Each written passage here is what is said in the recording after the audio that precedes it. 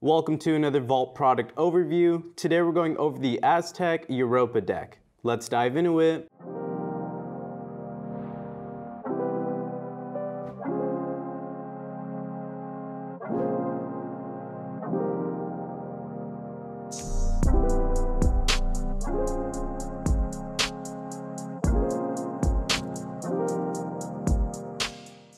Starting off, this deck is sold for $220 and it comes in this Midnight Pearl colorway. The Europa deck does come in two different length options, which are 23 inches long and 24 inches long.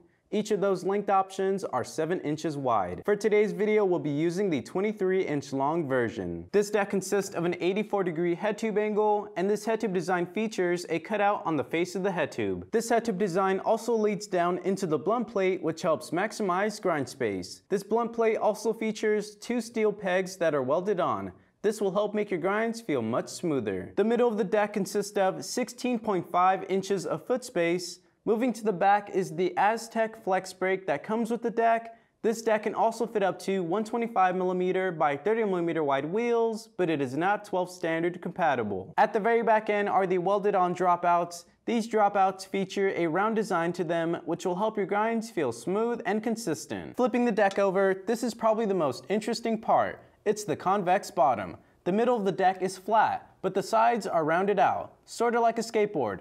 This will help create a more dynamic balancing point and will also help with grinds because you can use the round bottom to your advantage. Also on the bottom of the deck is the Europa graphic. Now since we know what this deck features, let's see where it stands on the scale.